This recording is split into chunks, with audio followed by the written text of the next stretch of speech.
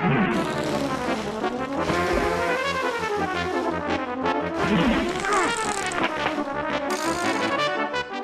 ahoy!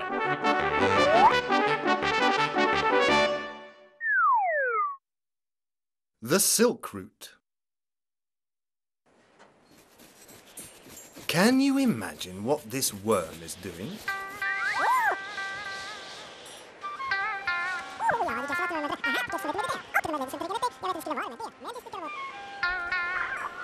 It's producing a precious type of thread silk.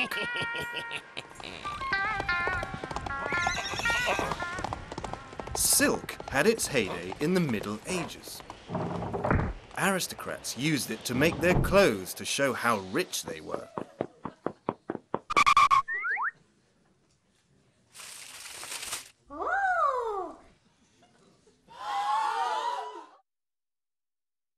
But for centuries, the method of making it was one of the best kept secrets in China. Chinese merchants travelled to the west to sell silk left over from back home.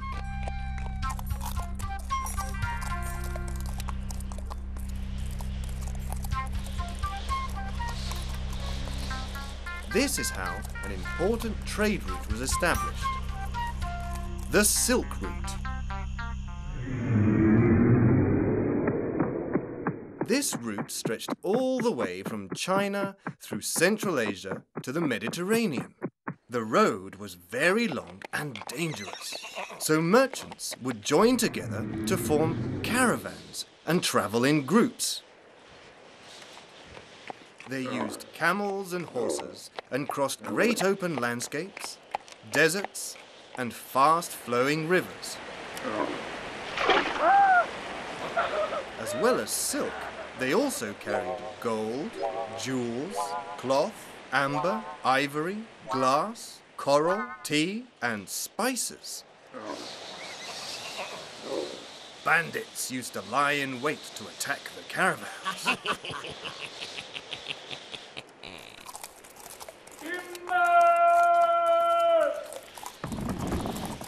At night, the merchants would stay in fortified hostels called caravanserais. There, soldiers would protect them and charge them for it.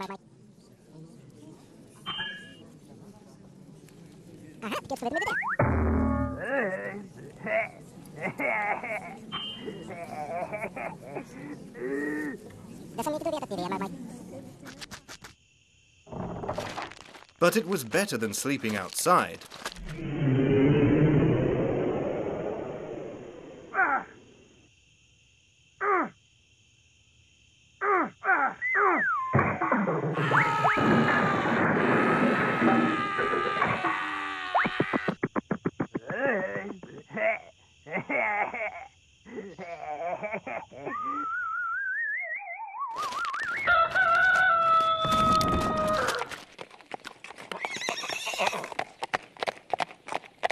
The Silk Route made the towns and cities along its way famous and wealthy.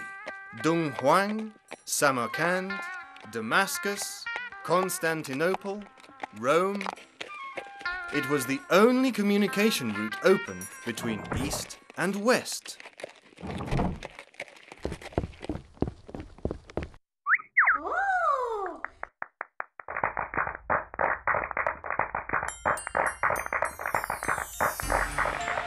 Marco Polo, a Venetian traveller, made the Silk Route famous when he wrote a diary about his journeys on it. For over a thousand years, the Silk Route made an interchange possible between cultures, languages, customs, and religions. So you must never underestimate animals, no matter how small they are. A humble little worm might just turn out to change the course of history.